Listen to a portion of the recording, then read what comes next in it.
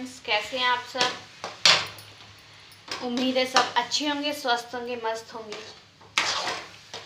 आज हम कुछ अलग तरीके की सब्ज़ी बनाने जा रहे हैं बेसन की। तो बेसन को हमने घोल लिया था, पेस्ट मतलब एकदम पतला पेस्ट बना लिए थे।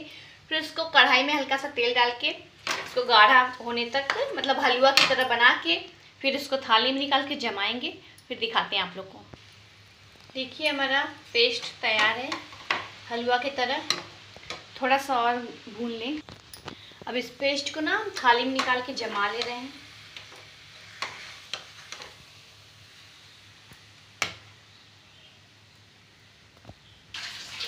देखिए, इसको हम अब इसको ठंडा होने तक, जमने तक छोड़ देंगे। जब तक हम चलते हैं, लहसुन प्याज छील लेते हैं, मसाला तैयार कर लेते हैं। मोबाइल बंद करके आए वो वाला।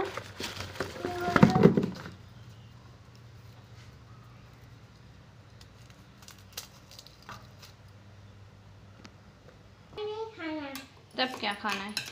ये देखिए, लहसुन, मिर्चा, अदरक का पेस्ट हम बना लिए हैं। इसी में पीसा मसाला ऐड कर देते हैं। तब तक ये मेरा जम गया है। इसमें हम सब मसाला मिला लिए धनिया, हल्दी, नमक, मिर्चा, गरम मसाला। और इधर कढ़ाई में तेल डाल के जा रहे हैं, मसाला भून देंगे और ये भी मेरा जम गया है तो इसको पीस पीस काट के इसको हम तावा थोड़ा सा फ्राई करेंगे। फ्राई तेल में भी कर सकते हैं, लेकिन बहुत ज़्यादा ऑयली हो जाएगा तब। सब्ज़ी बेटा। तो फिर तावा पे इसको धीरे धीरे फ्राई करते आप लोग को दिखाते हैं। तेल हमारा लाल हो गया है, इसमें हम बारीक कटा हुआ प्याज डालेंगे। थोड़ा सा।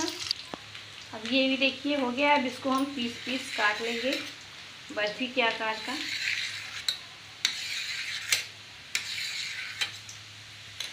तावा भी गर्म है, इस पर तेल लगा के इस पर सेक लेते हैं। तब तक मेरा प्याज लाल हो जाएगा तो इधर मसाला भून लेंगे।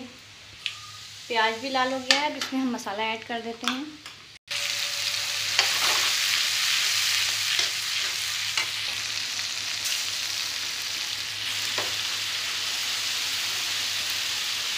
पापा को ये ऐसे फ्राई करके अच्छा लगता है, इसमें थोड़ा सा मसाला, लहसुन मिर्चा वगैरह लपेट के फिर छान के बना चुके हैं अभी।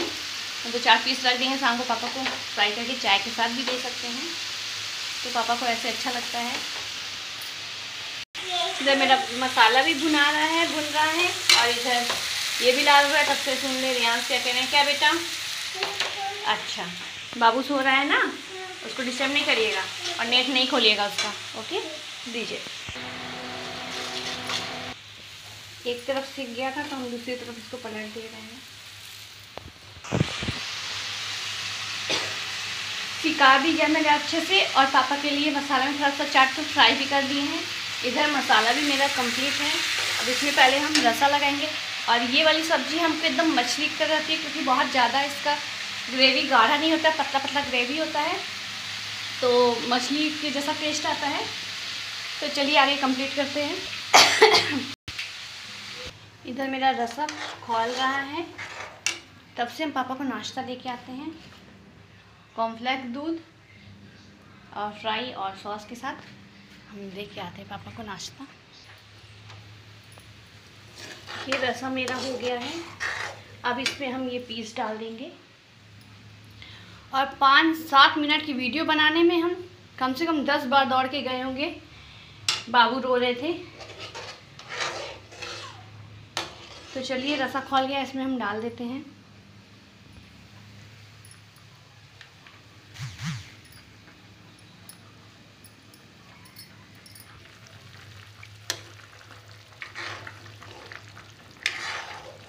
बस इसको पाँच मिनट और पकाना है, ज़्यादा नहीं, ताकि इस पीस में रसा अच्छे से सोख ले।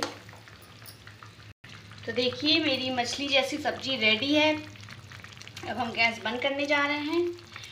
और वीडियो पसंद आए तो लाइक कीजिए, चैनल को सब्सक्राइब कीजिए।